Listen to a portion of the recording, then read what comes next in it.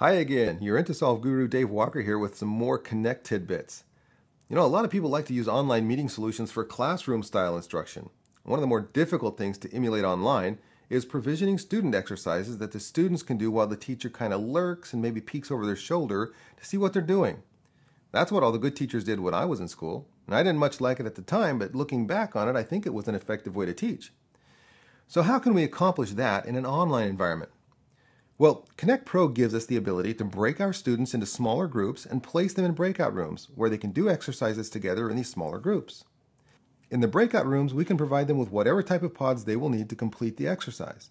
For example, we can include exercise materials in the share pod, a chat pod, and a note pod in each breakout room. Once we click on the Begin Breakouts button, each of the attendees will enter the breakout room they've been assigned to. The breakout room inherits the content from the main meeting room, and the attendees in the breakout room can whiteboard in the share pod, type in notes in the note pod, and chat with one another in the chat pod so they can collaborate within the breakout room. During the breakout session, the host can send messages to the breakout rooms, and the attendees can send messages back out to the host in the main meeting room. The host can also visit the breakout rooms one at a time to monitor what's going on in each of those breakout groups.